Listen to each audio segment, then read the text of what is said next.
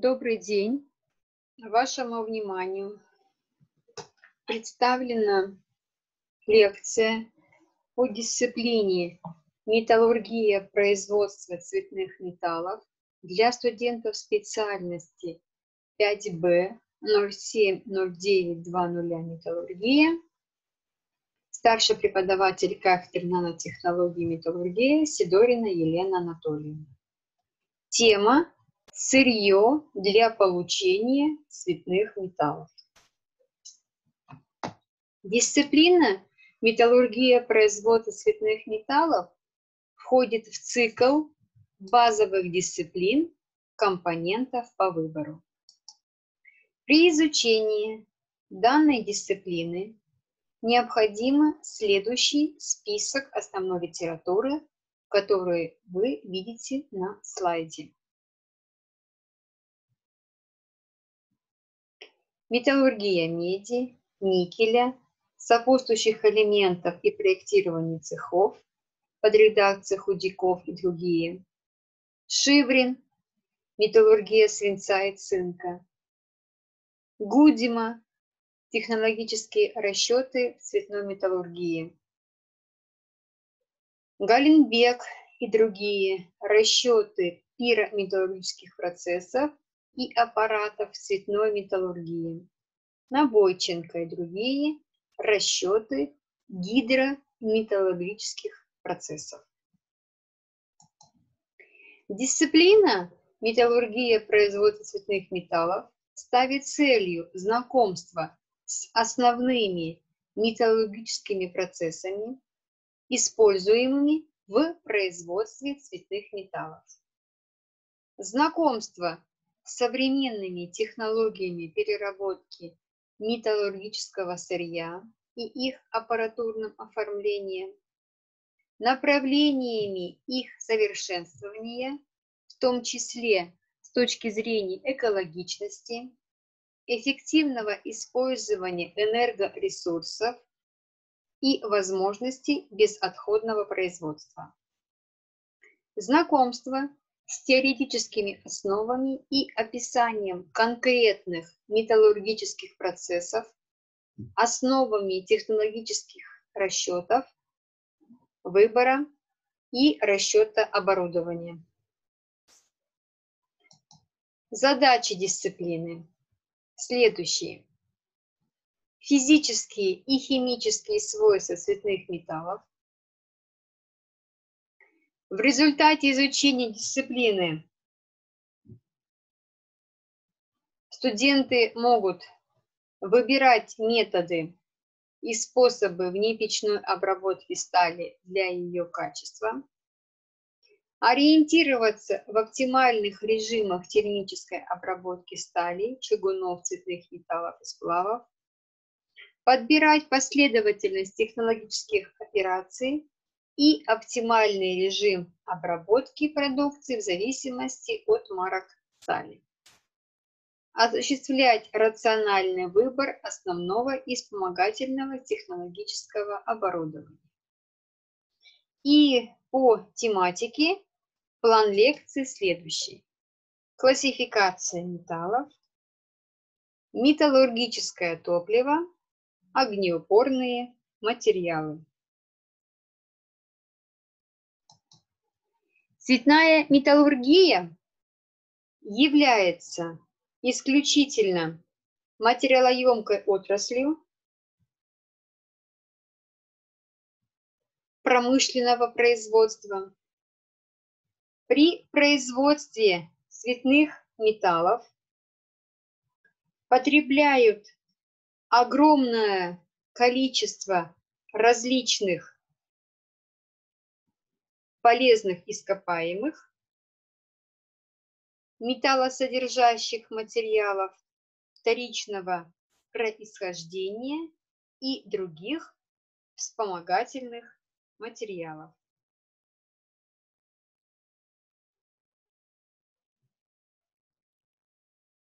На слайде мы видим главный принцип размещения цветной металлургии.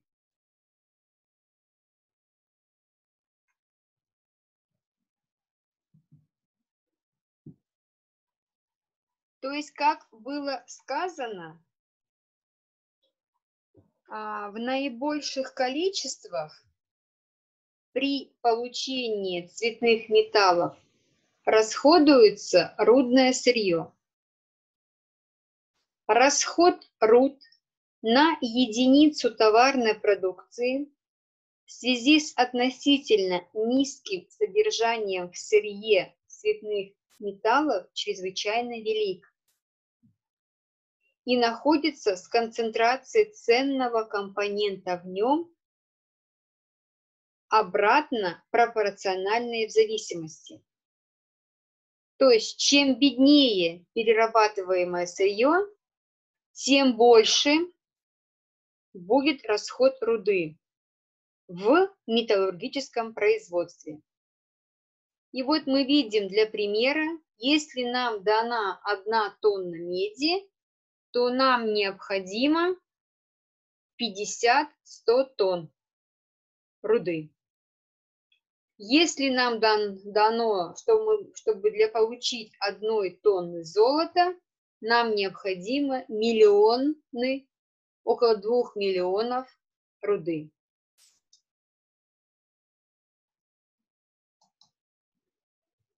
Технологические процессы цветной металлургии. То есть добыча исходного сырья, далее обогащение исходного сырья. Добыча и обогащение, оно тяготеет к источникам сырья. После обогащения металлургический передел, а он также тяготеет к источникам энергии. От передела обработка цветных металлов, то есть переработка вторичного сырья, и он тяготеет к потребителю. Кроме рудного сырья на предприятиях цветной металлургии, часто перерабатываются значительное количество других полезных ископаемых, угля, природного газа, флюсов, там, кварц, известняк, минеральных материалов для производства огнепоров и так далее. Что ж, такая, что ж такое руда?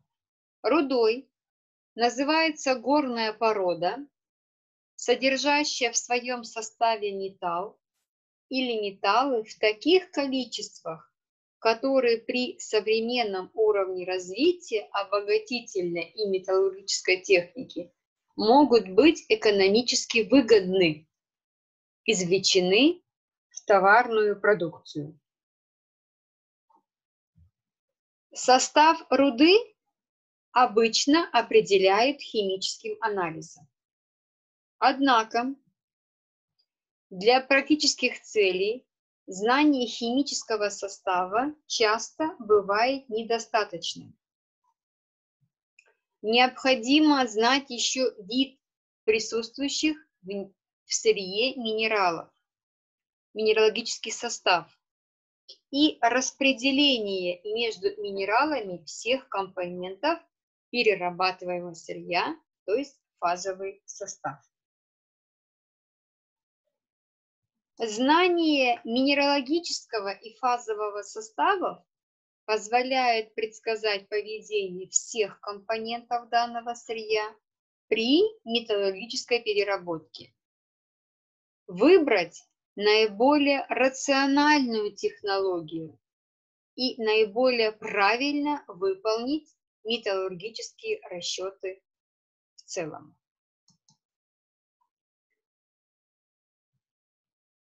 По виду присутствующих металлсодержащих минералов руду цветных металлов делят на следующие основные группы.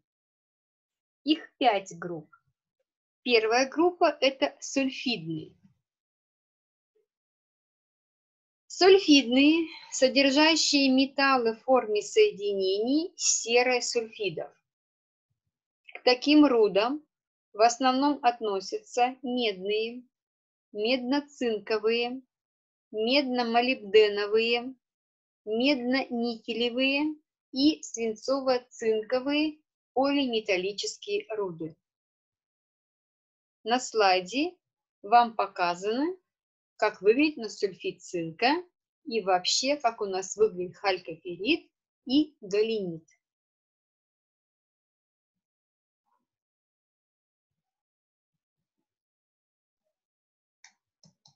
Вторая группа – окисленные, в которых металлы содержатся в форме различных кислород содержащих соединений, оксидов карбонатов, гидроксидов. Примером таких руд служат алюминиевые, окисленные никелевые, оловянные, некоторые разновидности медных и редкоментальных руд. На слайде вам также показано, как выглядит у нас руда окисленная свинцово-цинковая.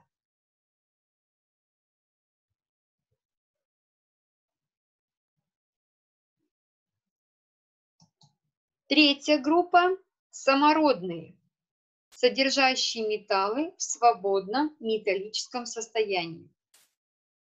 В самородном состоянии в природе встречаются золото, серебро, медь, платина, висмут и ртуть. На слайде вам также хорошо отчетливо видно, как у нас выглядит самородное золото в кварцевой руде.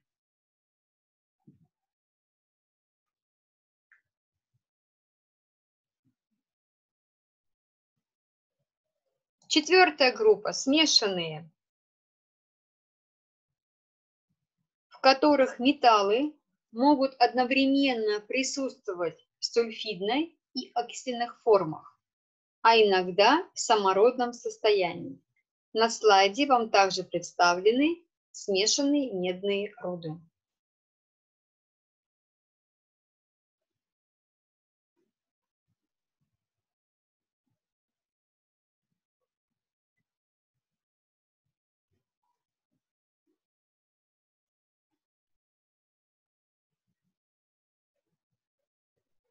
И последнее, пятое, хлоридные, содержащие металлы в форме солей хлористо-водородной кислоты.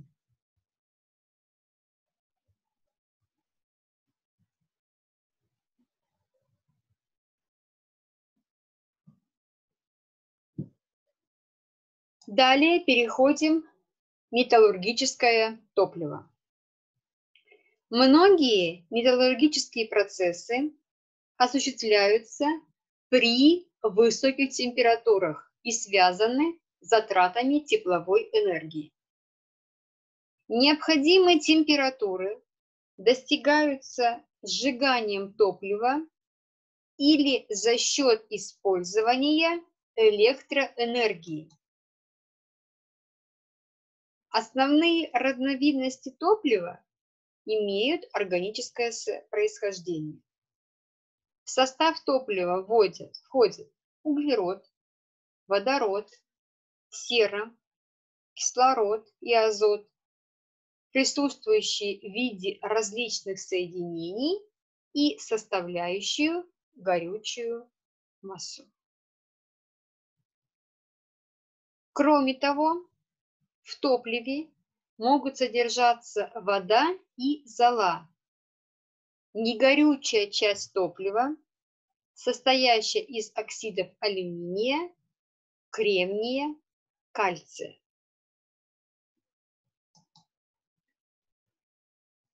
По агрегатному состоянию различают твердое, жидкое и газообразное топливо.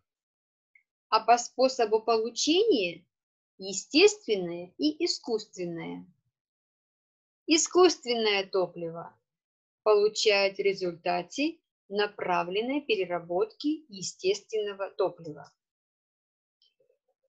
В ряде металлургических процессов углеродистые материалы, помимо функций топлива, выполняют роль восстановителей.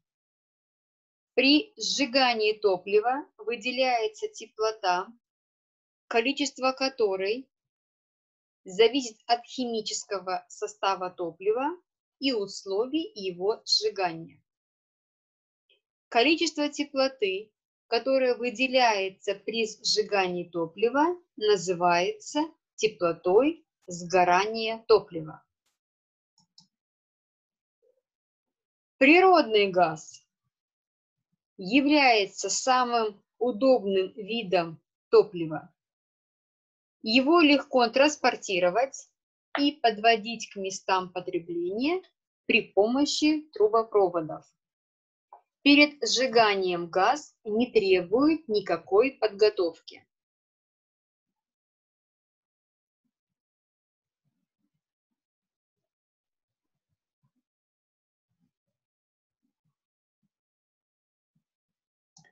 Природный газ содержит 85-98% метана и других углеводородов. Основными примесями природного газа являются сероводород и конденсат, жидкие углеводороды. Жидкое топливо. Основным видом жидкого топлива, используемого в цветной металлургии, является мазут – остаток от перегонки нефти. Нефть и мазут представляет собой смесь различных углеводородов. Мазут является ценным сырьем для получения смазочных масел и гудрона. Поэтому Применение его в качестве топлива в настоящее время ограничено.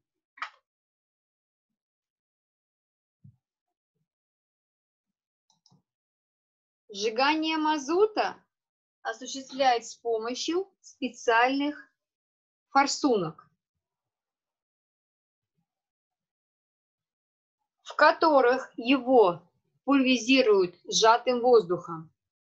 Для лучшего распыления, снижения вязкости, мазут перед подачей форсунки подогревают до 80 градусов.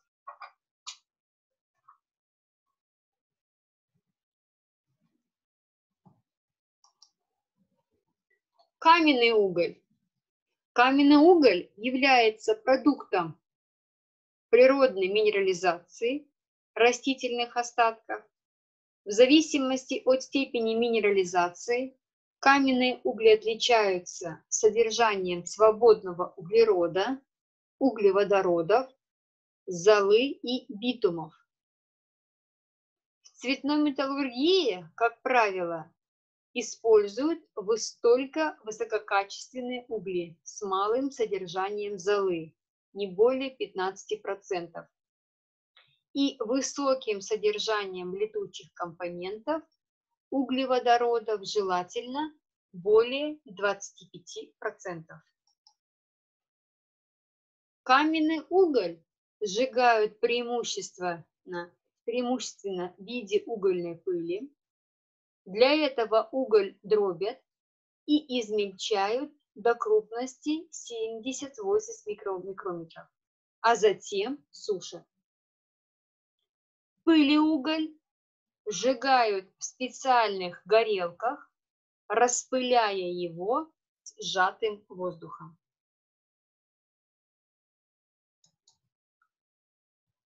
Кокс. Кокс относится к искусственным видам топлива. Его получают путем сухой перегонки специальных сортов коксующих каменных углей при температуре 900-1000 градусов в герметично закрытых камерах, коксовых батареях. При коксовании происходит термическое разложение каменного угля с отгонкой в виде газов и паров летучих компонентов. Летучие вещества затем направляют в холодильник, где происходит конденсация ряда ценных продуктов смолы, бензола, аммиака, а очищенный коксовый газ выводят из холодильника и используют в качестве топлива для отопления мартеновских печей и для других нужд. Кокс является самым дорогим и дефицитным видом топлива. Его применяют только в тех случаях, когда переработки подвергают кусковые и прочные материалы, например, в шахтных печах. И третье по плану лекции – огнеупорные материалы. В цветной металлургии широкое распространение имеют пирометаллургические процессы, проводимые при повышенных температурах в условиях сильно агрессивных сред, расплавленных шлаков или солевых расплавов. Для сооружения плавильных печей и ряда других металлургических агрегатов, а также для создания в них внутренней защитной облицовки, которая называется футировкой, используют чаще всего огнеупорные материалы.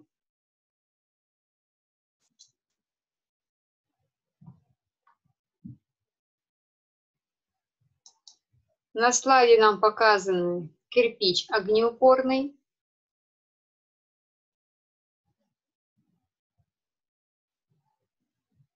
Огнеупорными называют строительные материалы, выдерживающие без расплавления температуры не менее 1600 градусов. По своему составу они в основном представляют оксидные системы. Огнеупорные материалы в зависимости от физико-химических свойств классифицируют по огнеупорности, химико-минералогическому составу, химической активности, стойкости оксидов по сложности формы изделий и ряду других характеристик.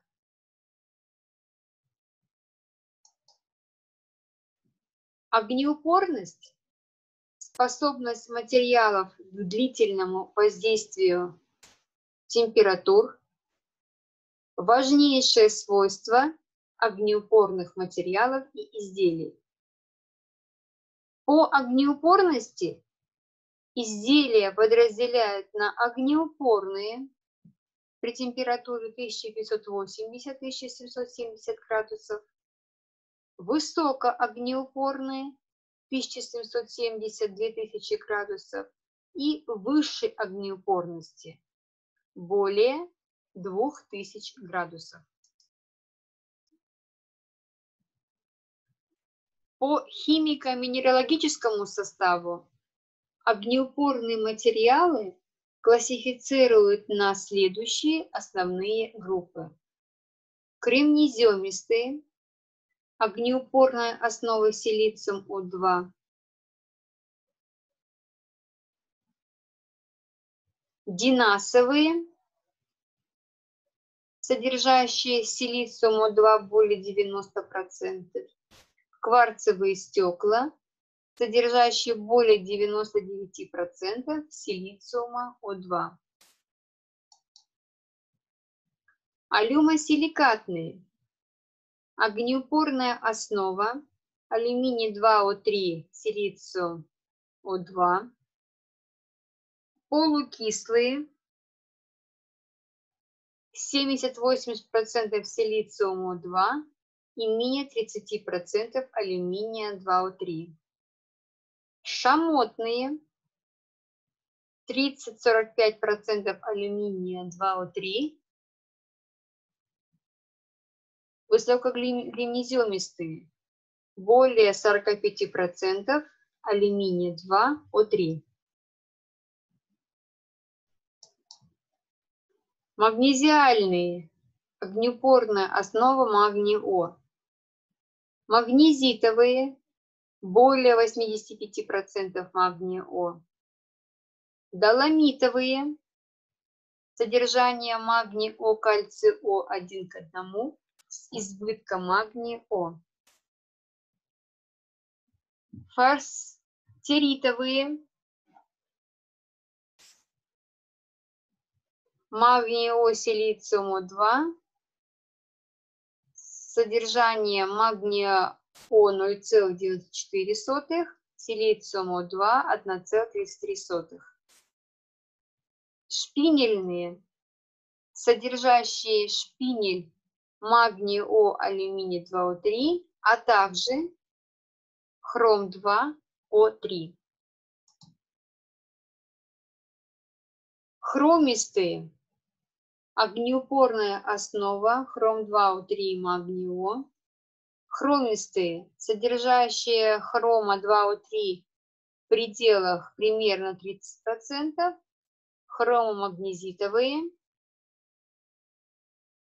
содержащие хром 2О3 от 10 до 30% и магнио от 30 до 40%.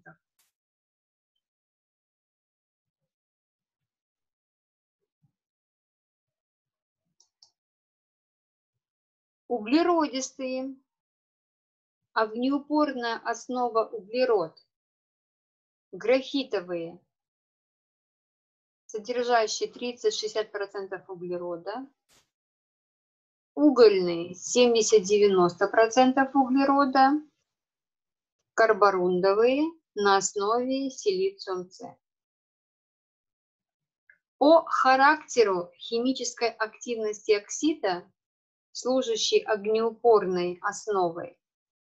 Огнеупоры бывают кислые силициум-2, нейтральные алюминий-2О3 и основные магнио-кальцио. Важным рабочим свойством огнеупорных материалов является способность сохранять в процессе эксплуатации первоначальную форму и объем. В процессе службы огнеупоры могут расширяться, подвергаться усадке или деформации. Необходимо, чтобы эти изменения были минимальными.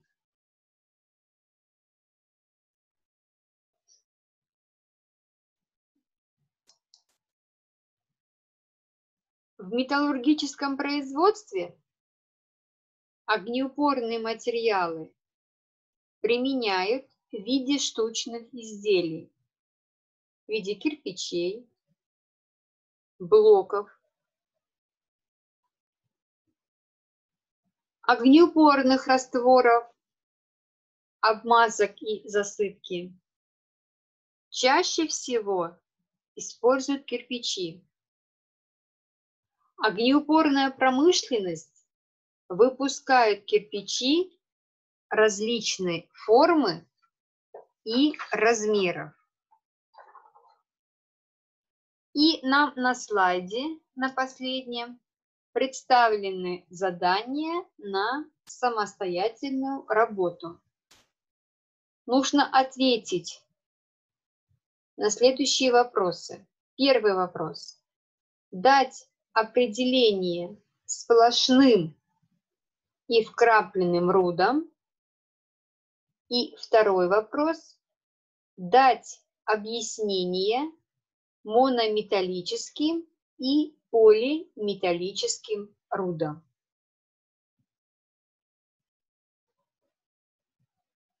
На этом тема